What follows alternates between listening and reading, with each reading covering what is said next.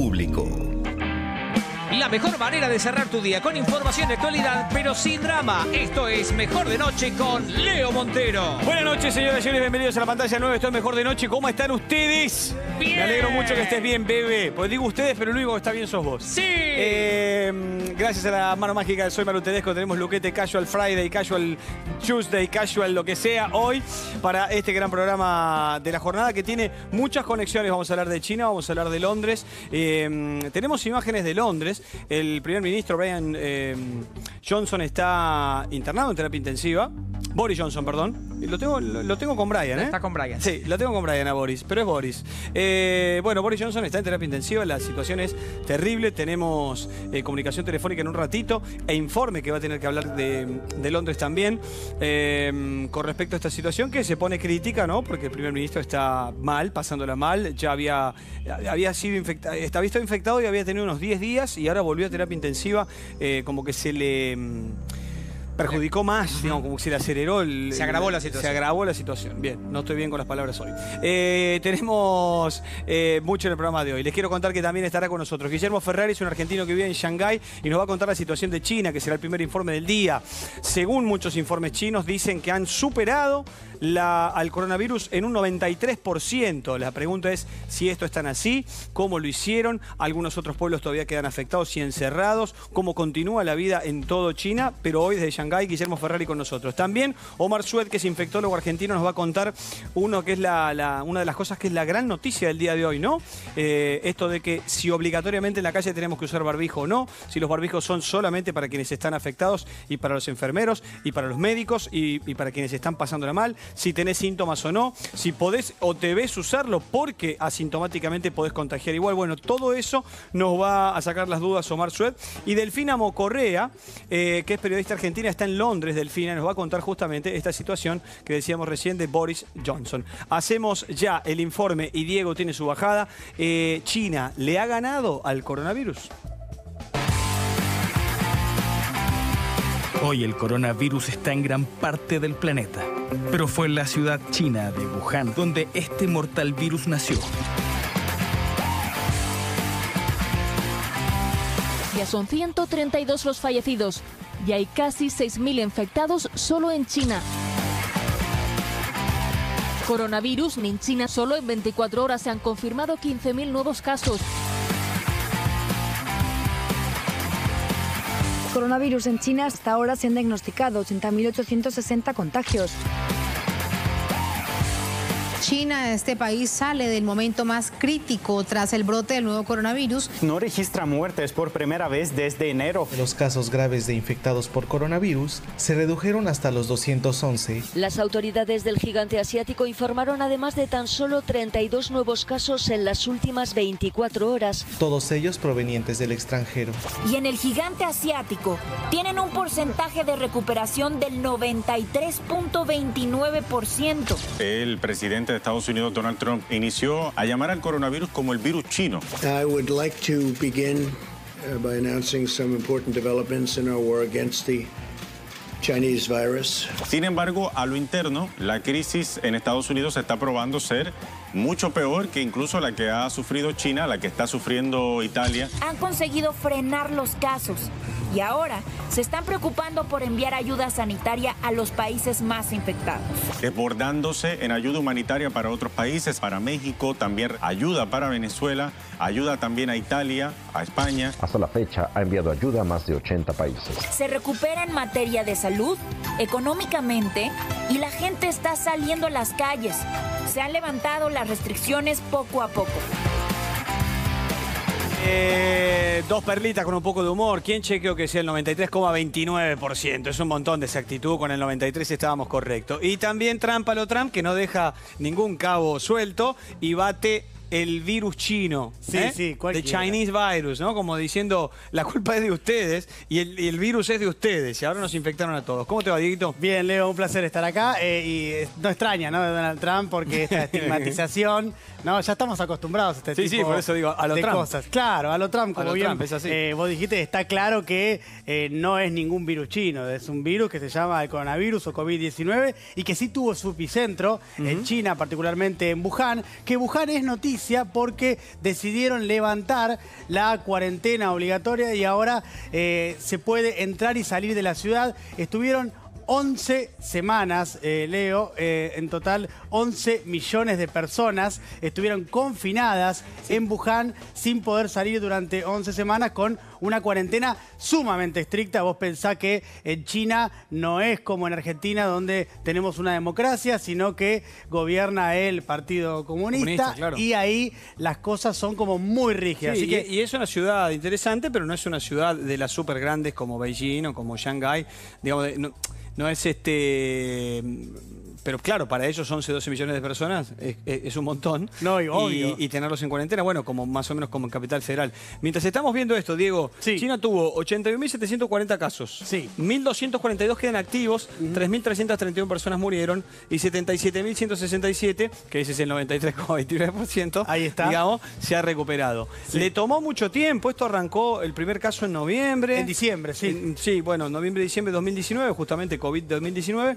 Y este y, y Juan terminó estando entonces 11 semanas. 11 semanas Wuhan estuvo Casi en tres eh, meses. cuarentena, sí, eh, con todas las restricciones. Además, ahora eh, se hizo como una suerte de celebración. eh, la eh, Xi Jinping, que es el, eh, líder eh, chino, declaró eh, a Wuhan eh, ciudad heroica, ¿no? Le ponen toda esa épica a partir de todo lo que han eh, pasado. Han tenido una celebración con un, eh, viste que le gustan mucho las luces Sí. a los chinos, bueno, tuvieron todo un espectáculo de luces celebrando que Wuhan se estaba recuperando y que salía. Pero pensemos la dificultad que ha tenido esto para todo China, porque le ha paralizado la economía en muchos Claro. lugares. Tiene consecuencias, claro, ahora estamos en la etapa en la cual se está celebrando y en la cual está todo eh, mucho mejor que lo que estaba antes. Pero eh, la situación igual en términos económicos ha complicado mucho a China y también al mundo. Y un tema más que también es muy importante, que China reportó por primera vez en el día de ayer que supuestamente, digo supuestamente porque hay algunas eh, fuentes a nivel mundial que dudan un poco de la veracidad de las fuentes chinas, pero China oficialmente reportó que no tuvo ninguna muerte por coronavirus por primera vez desde que se detectó este virus en China. Por primera vez en un, en un día. Por primera vez en- durante 24 Bien. horas no reportó ninguna muerte, esa es la información oficial de China. Queda pendiente y lo metemos eh, mientras recibimos a Guillermo Ferrari, que está en Shanghái. Allá son las 9.07 de la mañana, 11 horas de diferencia con la Argentina. Guillermo vive allí. Guillermo Leo Montero, Diego Iglesias, Bebe Sanso, te saludamos. ¿Cómo te va? Hola, buenas noches a todos ahí. Bien, buen día para vos. Con- estamos bien. Sí, contanos, eh, cómo, contanos cómo es tu vida en Shanghái, contanos cómo está China hoy de todo lo que venimos diciendo eh, y especialmente la ciudad donde vivís. Eh, yo vivo en Shanghai, como ya te dijeron, y acá la volvió, volvió todo a la normalidad. Más allá de los barbijos, se, se siente todo muy normal ahora, últimamente. O sea, la normalidad de hoy es con barbijo de todas maneras. O sea, lo que aprendió la población mundial, diría, es el uso del barbijo, un poco el distanciamiento social, lavarse las manos. Digamos, no salió la gente corriendo a abrazarse sin barbijo. Sí, ya de por sí la cultura acá no, no se abraza, así Correcto. que ni se dan las manos y esas cosas así, como muy, muy, como es muy frecuente, digamos. Eh, ¿qué- ¿Qué sabés, Guillermo, de esto de el- del lo que se llama el mercado húmedo? Que me decía Diego antes del programa y lo íbamos a charlar ahora, que supuestamente, más allá que hay ilegal y por internet, se ha prohibido. Lo ha prohibido el, el gobierno chino inicialmente. Primero en Juan, eh, ¿se dice Juan o se dice Puján? Wuhan, yo le digo Wuhan. La Wuhan. verdad que yo, mi, mi chino no es, lo no es perfecto. bueno, está bien, pero ya que estás ahí te pregunto, Puján. Bueno, el mer- eh, digo, digo esto como amante de los animales, protector, vegano. eh, no olvidar que la mano del hombre con los animales, con el perrito vivo que está ahí en la jaula, o el gatito, o el murciélago, y la sopa de murciélago, y bla, bla, bla, y todo lo que hemos visto que para nosotros es más desagradable aún que lo que ya se come, porque son animales salvajes y exóticos, digamos, este, fue prohibido. Ahora debe haber mucho ilegal, debe haber mucho por internet, y la Organización Mundial de la Salud, conjuntamente con muchos medios proteccionistas de animales, le han pedido que China elimine y erradique esto que es histórico, ¿no? Sí, exactamente. Hace poco vi, vi que está haciendo campaña acá contra el consumo de animales salvajes. Así que eso está bueno. Eh, también recién vi una noticia que encontraron animales salvajes cerca de una frontera de Vietnam y ya está todo decomisado, digamos. fueron arrestados las personas esas, eran de cocodrilos, creo, algo así. Así que se está aplicando la ley, eso por lo menos es lo que se ve acá, y, y eso está bueno. Y más, como te dije, las campañas de que los animales salvajes son amigos, no comida, y hay bastante fuerte eso- ese tema en, en- en China. Y eso para mí es un cambio que va a traer acá y es bastante positivo. Pues es que yo había estado leyendo eh, con respecto a esto y como amante de los animales justamente que hace mucho tiempo, mucho, no sé, unos creo que en el 1950 por ahí, este, permiten y habilitan que, porque China estaba pasando hambre, tenía en ese momento 900 millones de habitantes y estaba pasando hambre y no alcanzaba con el arroz, entonces permiten empezar esta comercialización de cualquier tipo de animal para consumo, víbora, el murciélago, la- la- esa especie de comadreja que es otro de los que generó el, el virus, que no recuerdo el nombre ahora, eh, ratones, ratas, todo. Claro, lo empezaron a permitir y los-. ¿Cómo se llama? Pangolín. Correcto. Y los granjeros eh, desde el interior de China empezaron como a, a- a vender eso para poder comer. Sí. Claro, han pasado ya 70 años y, y- y entonces nos contás que esta campaña está justamente en contra. ¿Cómo sentís, eh, Guillermo, que, que- que China está con el mundo? Eh, recién nosotros veíamos un informe de, de este ofrecimiento de China con insumos para ayudar a México y a los demás, supongo de manera muy desinteresada. Digo esto como un- sin un grado por ahí de culpa, decir, bueno, se originó acá, nosotros ya estamos saliendo en un noventa y pico por ciento, queremos ayudar al mundo. ¿Se siente eso ahí? No sabría decirte qué sienten los chinos respecto a eso. Eh, por mi parte, yo creo que habría que dejar un poco las ideologías y, y empezar a ayudarse entre todos los países. Por esa misma razón, creo que es importante que China vuelva a la normalidad, así puede fabricar los recursos que necesitan todos. Así que por ese lado, por mi parte, eh, no sé si es culpa o qué, eh, pero me parece bien que está ayudando a todos los demás, si es que tiene los recursos para ayudar. ¿Se escucha bien? Porque hay mucho ruido ahora. No, Justo están limpiando acá. te escuchamos bien, estamos viendo que te moves, estás en una zona de Shanghái que se la ve con poca gente. ¿Dónde es eso? Si nos querés mostrar. Eh, ¿Te muestro un poquito más? Sí. A ver, ¿Ya cambié la cámara? ¿Dónde estás? Estoy en Nanjing Road. Eh, acá es un lugar turístico. No hay eh, mucha gente hasta ahora porque ahora a las 10 de la mañana todo lo que son los lugares. ¿Me están escuchando bien, verdad? Sí, correcto. Dale, metele, metele que estás muy bien, Guillermo. Dale, dale. Eh, bueno, acá es un lugar turístico, como le dije, por eso no hay mucha gente. Las partes de la oficina están más alrededor. Recién yo estaba en el metro y estaba lleno de gente. Fíjate que si vemos acá, están practicando una danza. La verdad que no tengo idea cómo, cómo se llama. Se practica mucho la gente adulta. Voy a acercarme despacito, voy a quedarme quieto para que la imagen se pixe- no se pixele. ¿Y vos, qué, Eh, ¿Y vos qué haces, Guillermo, ahí? de a poquito está viendo más. Va viendo un poquito más de gente de a poco. Eh, como te dije, es un lugar turístico. Eh, Te preguntaba qué haces, a qué te dedicas, contarle al público y cuánto hace que vivís en Shanghái. Eh, yo vivo hace casi dos años, hago videojuegos eh, de manera independiente con mi esposa. Y bueno, vine acá por ella y porque también me gusta el país y la cultura un poco, así que ya aproveché. Lo que no sé es chino todavía, tengo que ir aprendiendo. Bueno, así que si me preguntan algo en chino, yo estoy mal. No ahora, debe- ahora le íbamos a hacer una entrevista en chino. No debe ser fácil. Diego, dale. Eh, Guillermo, es, es importante que algo que dijiste vos, que Shanghái está volviendo, que ya volvió a la normalidad. Bueno, pero antes, ¿cómo estaba? ¿Cómo estuvo en las semanas previas para llegar a esto que vos definís que ahora volvió a la normalidad? Bien, la cuarentena acá me llamó mucho la atención. Lo que es en Shanghai, por ejemplo, eh, yo nunca sentí que me obligaron a hacer cuarentena. Si yo salía, nadie me paraba en la calle, simplemente había tipo una conciencia de las personas.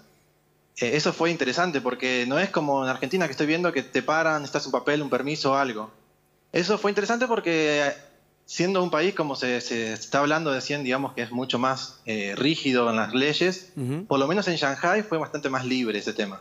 Y había mucha responsabilidad, yo no veía a nadie en la, en la calle, o sea, nadie, absolutamente nada, solamente en los supermercados y en los lugares para comprar cosas. Así que eh, por ese lado fue bastante sorprendente para mí cómo respetaron todas las, las indicaciones. Eh, por otro lado, es el sistema de control de las personas.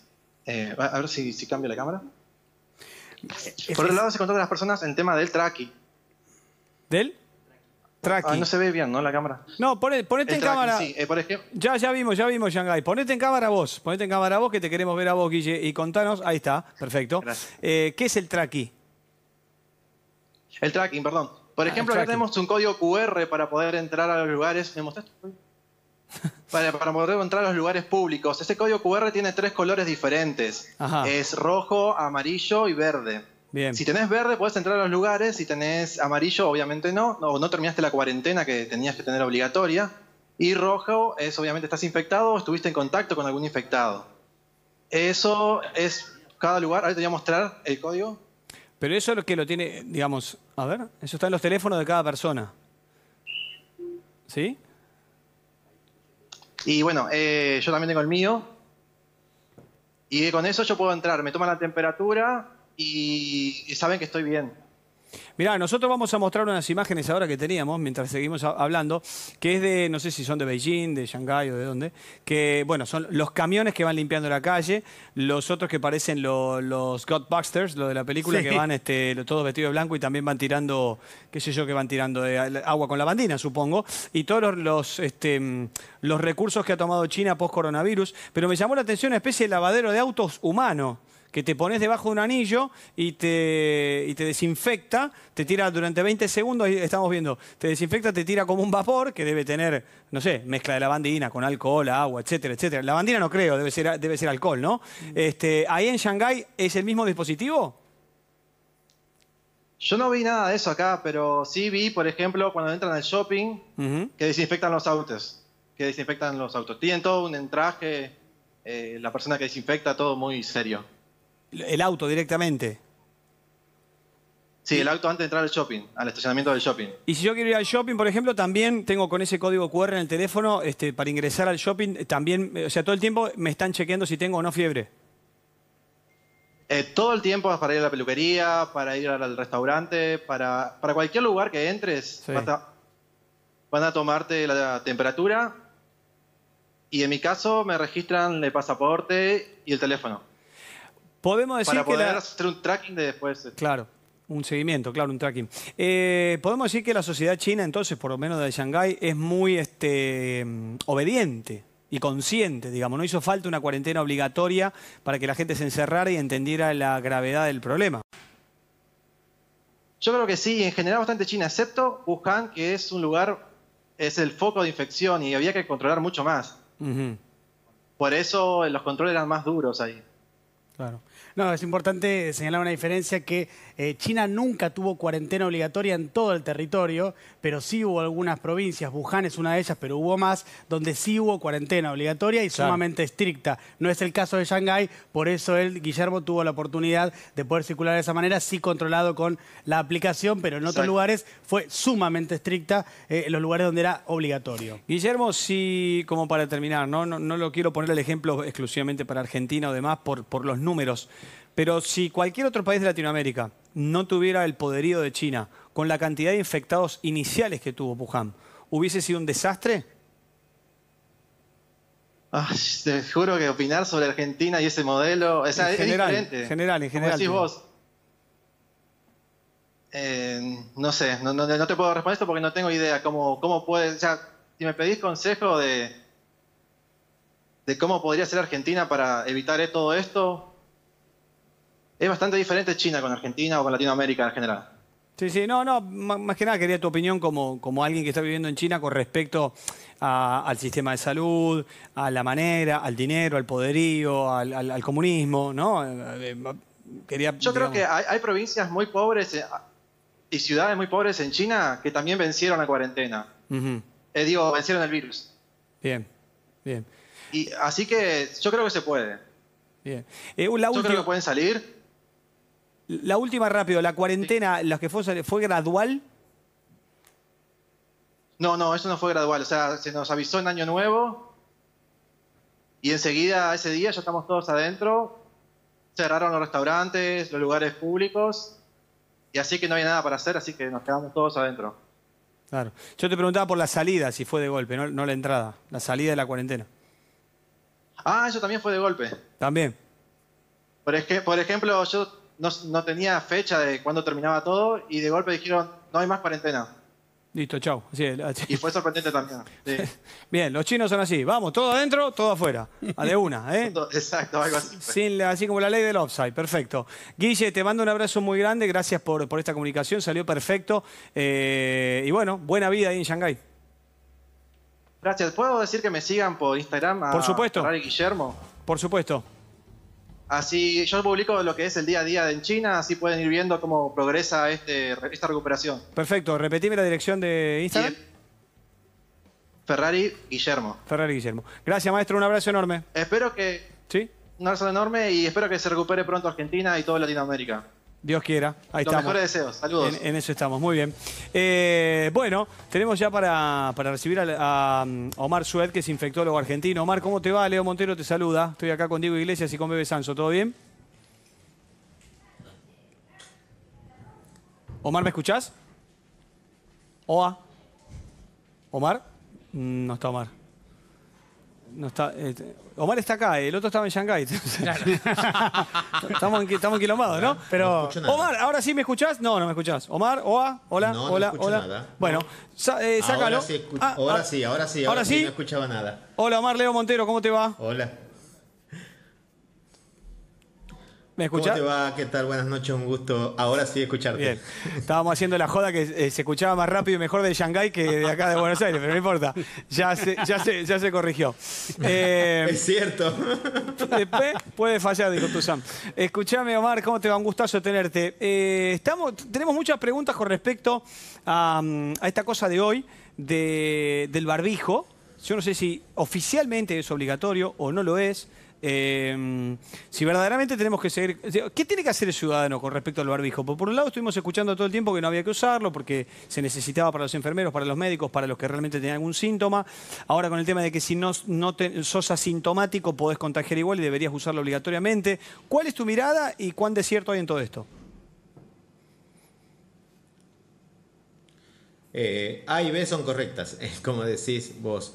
Los barbijos de quirúrgicos y los barbijos N95, que son los barbijos especiales para situaciones donde uno se puede encontrar con aerosoles de los pacientes, no se tienen que usar en la vía pública. Esos son, para, son insumos hospitalarios Ajá. y deberían ser re- reservados para los médicos para protegerse y para los pacientes que tienen coronavirus para proteger que no eh, infecten en el hospital. Bien.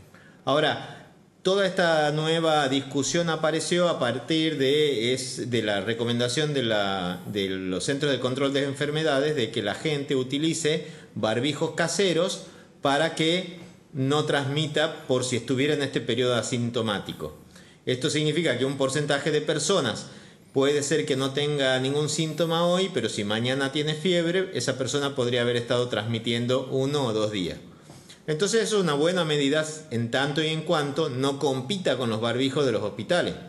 Entonces por eso es que el, el Centro de Control de Enfermedades recomendó hacer barbijos de tela, con remera, Claro. con, con diferentes telas, y que cada uno use esa tela y la lave todos los días, la planche con una plancha seca, sin vapor, y lo pueda usar todos los días.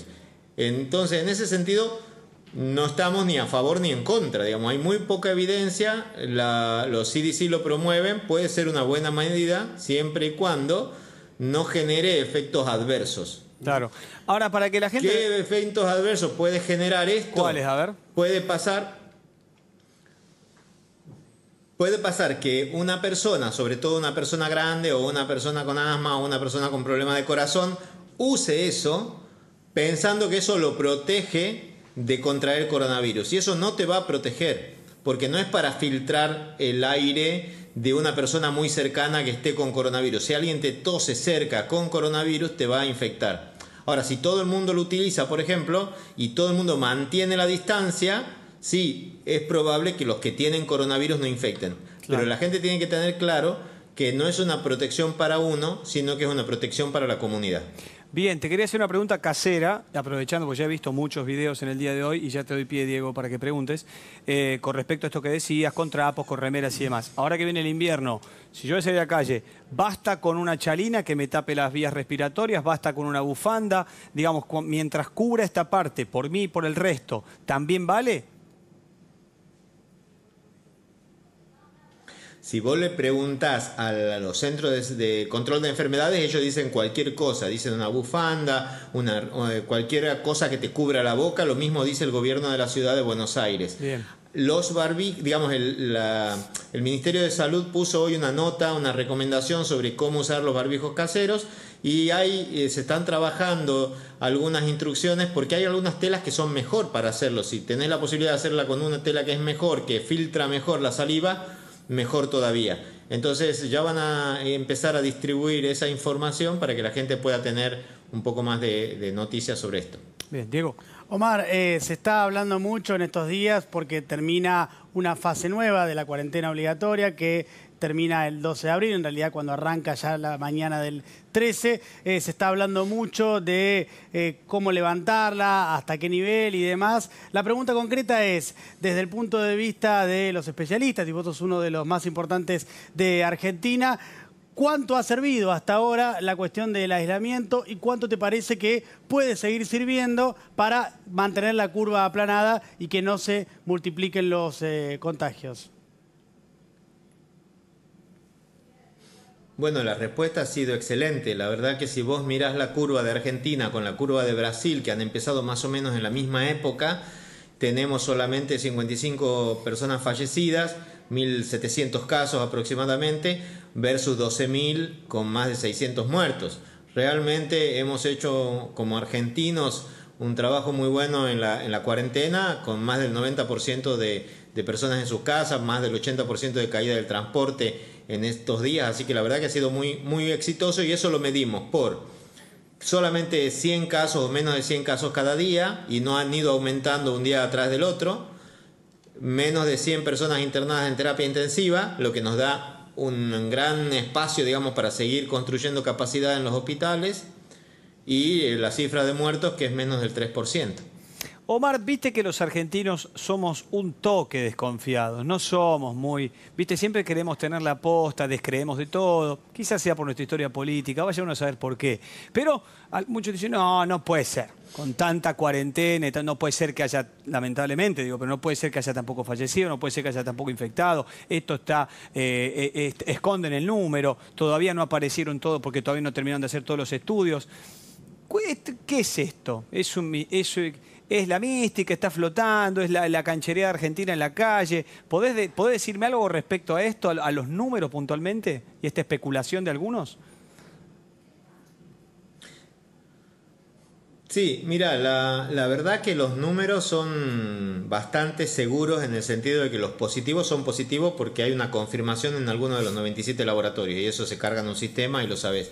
Puede que haya algún sistema que haya, digamos, puede haber alguna subnotificación, sí, posiblemente si un laboratorio privado hace un análisis y no lo reporta al ministerio, podría haber una subnotificación pero no va a poder conseguir, digamos, la, el insumos, ni, ni recibir kit, ni, ni continuar haciendo testeos si no los reporta.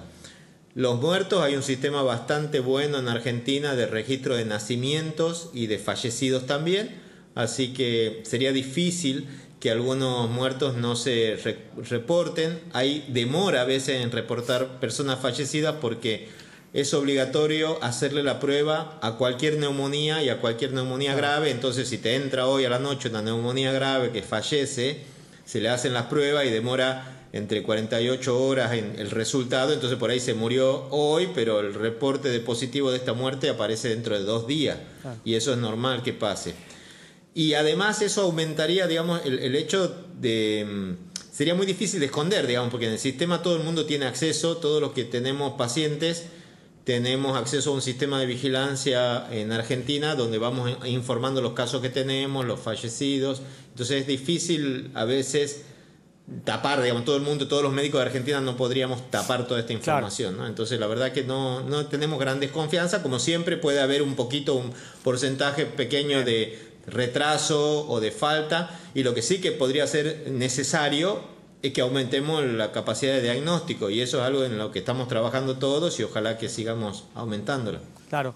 Eh, te hago la última con respecto a- a todo lo que has dicho, que es maravilloso. Primero, entonces sigue siendo eh, fundamental, estar a dos metros de cualquier otro ser humano, lavarse las manos todo el tiempo, tener ese tipo de precauciones que ya hemos aprendido de memoria, nunca tocarnos la cara, sigue siendo eso lo más efectivo. Tengas, no tengas, tengas síntomas, no sientas nada. Si yo estoy a tres metros de Diego, es muy probable que no me va a pasar nada nunca y así estamos trabajando en la televisión. La la cantidad de lugares que se han preparado para tener camas, eh, sé, la ciudad de los niños, en Tigre, eh, me pierdo ahora con los lugares que, Argentina está por fuera de los hospitales, ¿no? Que está preparando. ¿Es por las dudas? ¿Es porque se espera? ¿Es para estar bien preparados por si pasa? O sea, si venimos tan bien, ¿puede llegar a ser incluso innecesario la preparatoria de camas para posibles pacientes contagiados? Todo depende de si hasta, qué punto mantenemos o no mantenemos la cuarentena. Este virus tiene una capacidad tan rápida de, multiplicarse que si nosotros levantamos todas las restricciones de cuarentena y volvemos a la velocidad con la que se infectaron los primeros casos, podríamos en 10 días tener pasar de 1500 a 8000, 9000 casos y en un mes podemos estar en los 35000. Entonces, por eso eso es capacidad que se está preparando por si en algún momento se descontrola la situación para que no nos agarre desprevenidos en base a las estimaciones de gente que podrían infectarse si la gente no respetara la cuarentena. Omar querido, muchísimas gracias. Capo total, ha sido un placer escucharte. No, muchas gracias a vos por la invitación. La verdad que es un, festejo hoy en el mundo, en el Día Mundial de la Salud, tener el primer día sin muertos en China que eso es una muy buena novedad. Así que, significa que se puede hacer y ojalá que lo podamos hacer nosotros también. Mirá qué, ironía, ¿no? En el Día Mundial de la Salud, justo primer día sin muertos es como, es como justicia divina, por un lado, ¿no? Para, para nosotros, para los que habitamos este mundo. Gracias, maestro, un abrazo enorme. Eh, faltan muy pocos días para la Pascua, no te quedes sin la oportunidad de sorprender a tu familia con los más ricos huevos de chocolate. Arcor, que están buenísimos, apurate, hace ya tu pedido y Arcor te lo lleva a tu casa. En el siguiente video te contamos cómo. Envía un mensaje de WhatsApp al 11 27 21 0066. Seguí las instrucciones y recibí tu pedido gratis en tu casa y a precios irresistibles. En esta Pascua, compartí momentos únicos. Más información en www.arcor.com. Delfina Mocorrea está en vivo desde Londres. ¿Cómo te va, Delfina? Leo Montero te saludo. Un placer estar aquí, que estés aquí con nosotros en Mejor de Noche en la pantalla del 9. ¿Cómo te va? Hola, buenas noches, Leo. Un, placer. ¿Cuánto hace que vivís ahí? Estoy hace casi un año. Me vine a hacer una maestría en periodismo audiovisual. Ajá. Y mira, y te agarra esta experiencia. Sí, justo. ¿Qué pensaste? ¿Qué pensás? Eh, eh, yo viviendo esta experiencia en este momento. Sí, ahí. me parece que es una oportunidad única y es triste en realidad que digo que, una pandemia sea una oportunidad, mm. pero a la misma vez estoy aprendiendo muchísimo. Bien. Eh, me, alegro mucho por vos y es verdad, a veces en, donde, donde, hay crisis también hay oportunidades, hay que saber buscarlas y verlas. Eh, eh, ¿Cómo está la ciudad y todo el Reino Unido por la noticia de Boris Johnson en terapia intensiva? ¿Se ha conmovido la televisión, las noticias, el pueblo? ¿Es, es, es de lo único que se habla? Sí, claro, es de lo único que se habla. De hecho, hoy va a pasar su segunda noche en terapia intensiva y el gobierno hoy dio una conferencia de prensa de, que la presidió Dominique Raab, el secretario de Estado de Asuntos Exteriores, quien es, eh, es quien está... Perdón, tengo mucho retorno.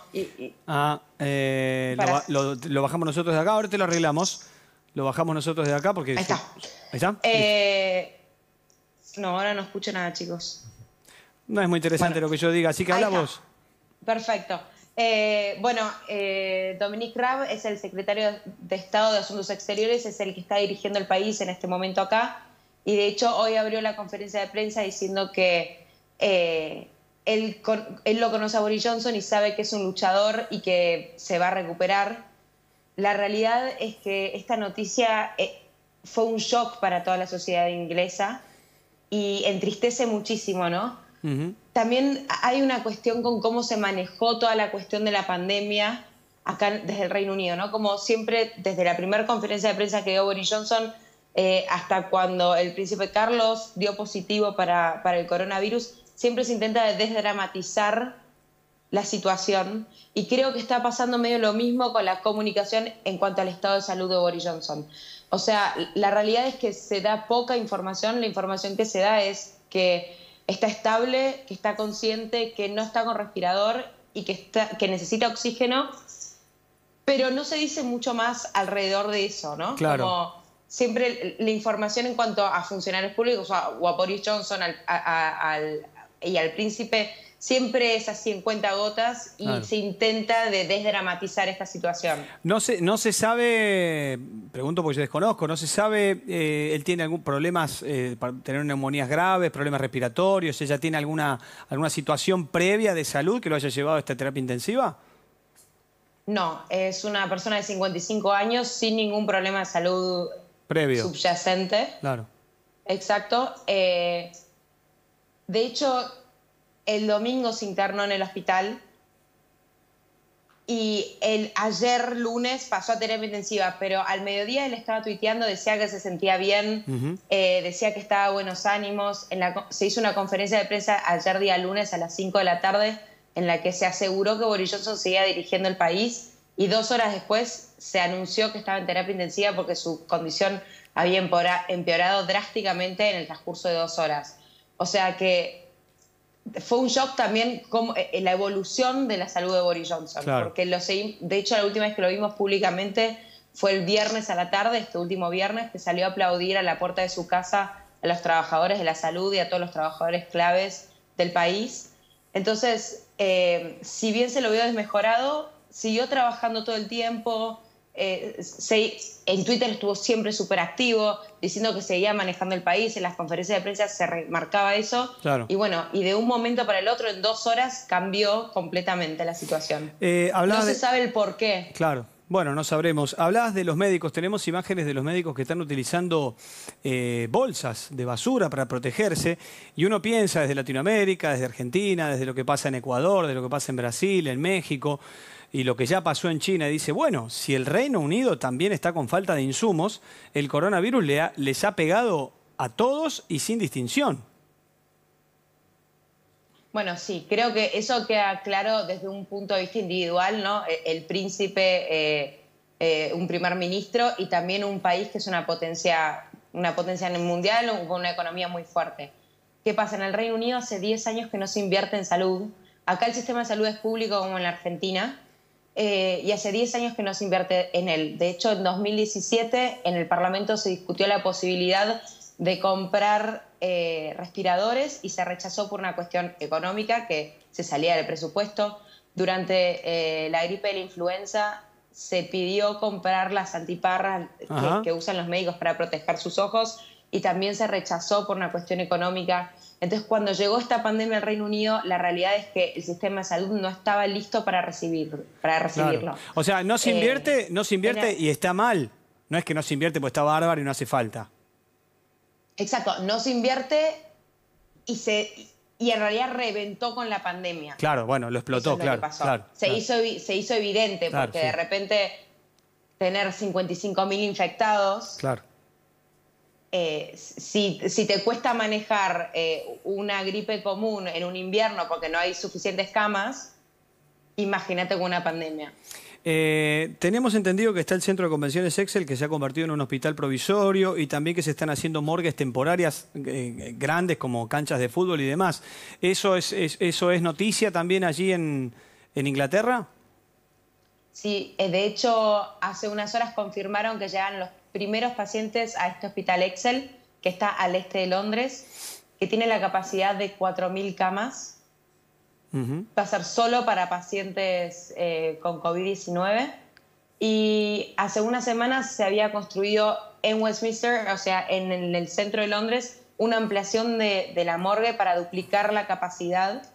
Eh, acá en el centro de la ciudad se, se construyó otra también un, un poquito más a las afueras y una muy grande del tamaño de dos canchas de fútbol, creo que, eh, si no me equivoco, el ma- la- esa que está mostrando ahora en pantalla. Sí, sí, sí, esa. Eh, para justamente ampliar la capacidad de, bueno, de la morgue. Sí. De, de hecho, hoy salió una, hoy salió una, una, no- una nota eh, que es un estudio de, de- de la Universidad de Washington, en el cual se dice que el Reino Unido va a ser el país más afectado de Europa. Eh, esta, esta, esta noticia en realidad generó un poco de polémica porque contradice lo que se dice desde el gobierno, ¿no? Eh, desde el gobierno se dijo que probablemente estemos llegando a la meseta, que hay que esperar una semana para ver si es así o no. Y este estudio dice que, que vamos, a- que, que todavía estamos lejos del brote, del pico del brote, y que se pueden esperar hasta 66.000 muertes, cuando desde el gobierno se está diciendo que se está como desacelerando la infección, desacelerando las muertes, y que esperan no tener más de 20.000 muertes, ¿no? Que sería Sí. el triple en, en cuanto al estudio. Eh, Pero vos- evidentemente algo, algo pasa porque están construyendo Claro. varias morgues a las afueras de Londres. Eh, vos sabés que esta es una opinión personal, por supuesto, viendo las declaraciones de Trump el 26 de febrero diciendo esto es, esto es un problema menor, se trata como una gripecita o como una fiebre más. Bolsonaro, unas barbaridades que dijo, una gripecina un refriño y qué sé yo, y Brasil está también como está. Aquí mismo en Argentina, Ginés, eh, el, ministro de Salud, también al principio dijo, "Está- controlado, falta mucho, no va a llegar, y después terminó diciendo, vino muy de golpe. Y tengo entendido, llego, llego al Reino Unido, que lo trataba de forma también natural. No, digo que lo han subestimado, digo que ha sido tan fuerte, o si querés sí lo subestimaron, porque ha sido tan fuerte que creo que ha choqueado a la, a la humanidad entera. Seas primer ministro, príncipe, eh, el presidente de cualquier país, creo que lo, lo choqueó a todos.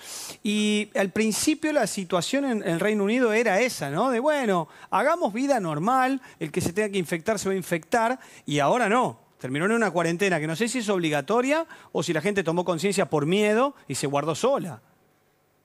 No, la cuarentena es obligatoria, podemos Bien. salir una hora por día a hacer ejercicio.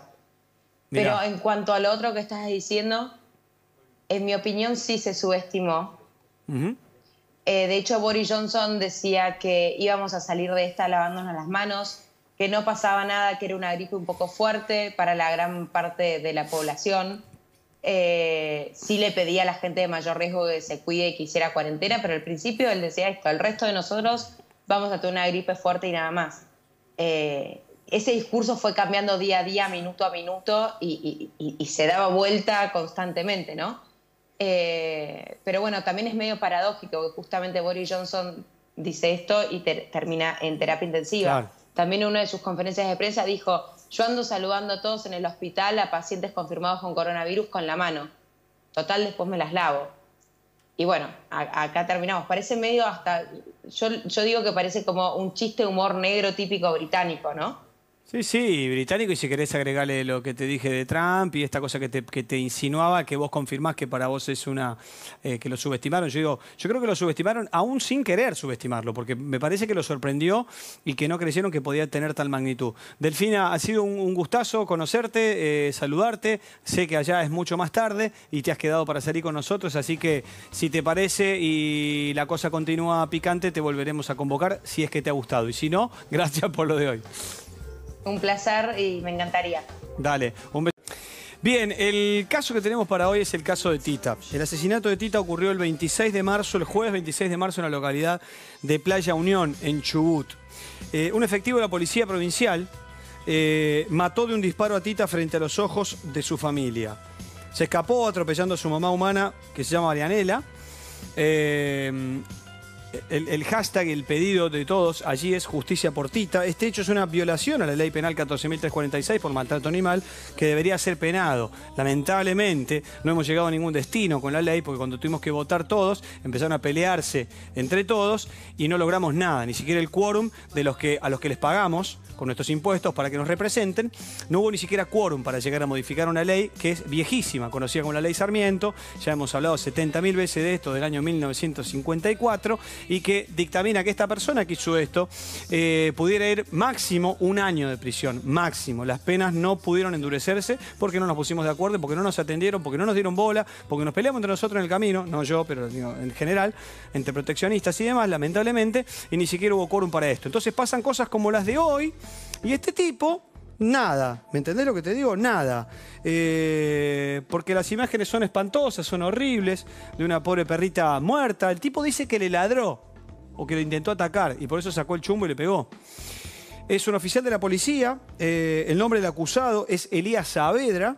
eh, actualmente se desempeña como efectivo policial. Las autoridades eh, políticas, em, se le pide a las autoridades políticas la suspensión y separación de las fuerzas de este hombre, de Elías Saavedra. Así que el gobernador Mariano Arcioni está supuestamente atendiendo los reclamos. Digo supuestamente porque es el mismo gobernador que habíamos visto eh, en, la- en la- en las hinchadas, ¿no? Con los caballos, este, también tirándole lazos a los caballos, eh, utilizándolos también con maltrato animal para, para hacer la gracia, ¿no? La gracia cultural. La gracia cultural de agarrar un caballo y que le duele el cuello y tirarlo así y hacerse gracioso. Bueno, pero le estamos pidiendo a esa persona a todos que haga algo. Eh, al ministro de Seguridad también, que es Federico Mazzoni, al jefe de Policía Provincial, que es Miguel Gómez. Nosotros estamos haciéndonos eco de todo el pedido de la gente que está en Chubut pidiendo por el asesinato de Tita. Podría pasar, ¿no es cierto? Porque total, un perrito, o sea, a quien no les gustan los animales o quien no tiene respeto por la vida, ¿sabes qué te va a decir? Tanto quilombo por un perro de mierda. Esa es la frase que uno escucha, ¿no? Entonces, no vale nada la vida de otro ser vivo, por supuesto. Algunos los comen, otros matan los perros, los caballos, los tiran, tracciona sangre. Así estamos. Entonces te indigna porque decís, ¿a dónde vamos? Cualquiera puede, como digo siempre, maltratar y matar a cualquier animal. Total, no te va a pasar nada. ¿Qué tratamos nosotros con esta comunicación? De que alguna vez pase algo, por lo menos con lo que hay, que haya un leading case, que haya justicia para algo y que vaya algunos meses preso, algunos de estos, de 15 días la mínima o un año la máxima, para que empiece a dejar de pasar, para que otro día, mirá como fulano se comió por ahora seis meses preso además de la justicia divina y la justicia social, y, el- digamos, el escarnio público de aberración que merece esta persona. La Fiscalía de Rawson está a cargo del fiscal Osvaldo Heiber, Así que eh, es el que está investigando y mm, la defensa pública está apoyada por un grupo de abogados animalistas, la doctora Eliana Fra, eh, la doctora Julia Busqueta, eh, Mauricio Trigo, eh, que son coordinados todos por la doctora Lorena Bicilich. Los nombro a todos porque es la información que tenemos y deseamos en nombre de ese pobrecito ser vivo que se llamaba Tita y que murió así porque a uno se le cantó agarrar y pegarle con un chumbo en la cabeza y matarlo. Porque sí.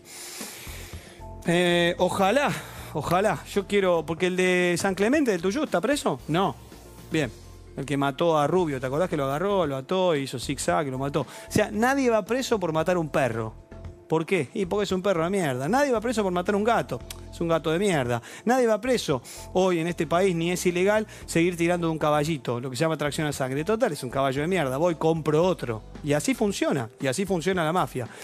Eh, una pena, una pena. Este, desvío un poco la situación, porque nuestro poca pulga se trata de eso, ¿no? Estamos viviendo otra cosa y mientras tanto hay un mundo de encierro, de opresión, de castigo. Y claro, esos, no hablan, ¿viste? Esos son los sin voz, esos son los que les pegás y no pueden decir nada, pueden ladrar, ¿qué pueden hacer? Nada, son los sin voz. Esos no, no dicen estoy embolado por la cuarentena, esos se la fuman y mueren, como se murió este. Eh, gracias por escucharnos. Ojalá que allí en Chubut puedan hacer algo todas las personas mencionadas que están a cargo y, dar un- una, situación ejemplar una vez en la vida. Se viene Viviana Canosa con nada, eh, personal. ¿eh? A continuación, no sé qué invitado tiene Viviana hoy, pero seguramente le va a ir muy bien. Y está todo el equipo ahí para hablar de la actualidad de lo que pasa en Argentina. Gracias, Bebe. Gracias, Diego. Ha sido un placer que estén aquí con nosotros. Nos vemos mañana a 21.50. Muy amables, los quiero mucho. Y nos encontramos mañana en la pantalla 9. Adiós.